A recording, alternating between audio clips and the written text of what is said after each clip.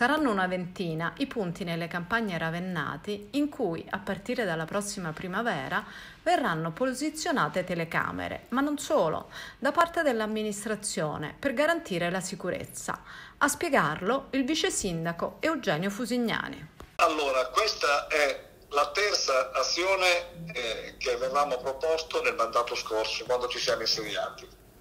eh, cioè l'infrastrutturazione tecnologica del territorio.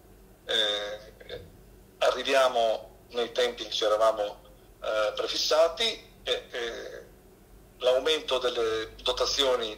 di videosorveglianza nel territorio in parte eh, raccogliendo le segnalazioni che sono venute dai consigli territoriali e in parte con valutazioni che sono state fatte dai competenti organi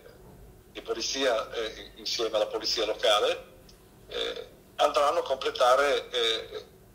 una prima fase eh, di infrastrutturazione appunto territoriale. Eh,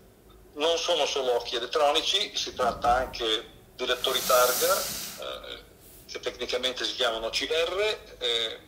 e anche quelli andranno ovviamente ad aumentare i livelli di sicurezza eh, territoriale, fermo restando che tutti abbiamo la consapevolezza che eh, i fenomeni li possiamo contrastare contenere, ma lo zero non si, non si otterrà mai.